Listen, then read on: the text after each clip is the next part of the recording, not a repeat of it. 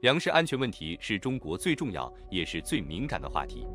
随着今年中共国南方罕见的高温，六月下旬以来，南方地区平均高温日数为一九八一年以来同期最多，农业生产受到严重影响，长江流域稻谷、棉花受灾，西南地区玉米、大豆受害，收成不佳，粮食供应又受到乌克兰战争破坏，中共国正面临粮食危机。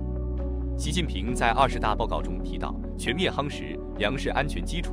牢牢守住十八亿亩耕地红线，把中国人的饭碗牢牢放在自己的手上。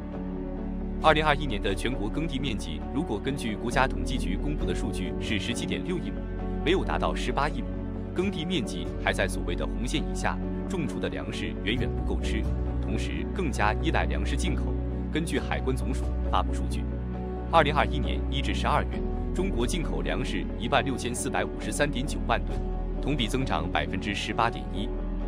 俄乌战争、全球粮食危机的大背景下，很多国家都逐渐采取粮食保护主义，限制粮食出口，使中共国在国际市场上购买粮食难上加难。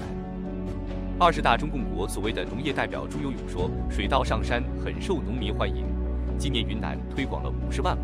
蒿之坝村推广了四百零五亩，最高亩产七百八十八公斤，最低六百三十四公斤，总产二十八万公斤。蒿之坝村二百七十七人，人均产量超过一千公斤，饭碗牢牢地端在了我们自己手中。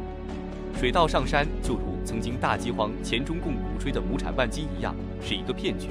因为水稻需要大量的水才能种植，需要在低洼的地方。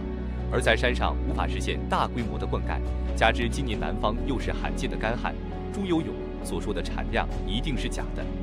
中共国又在上演农业表演秀，预示着三年大饥荒的历史悲剧即将重演，请大家做好应对粮食危机的准备吧。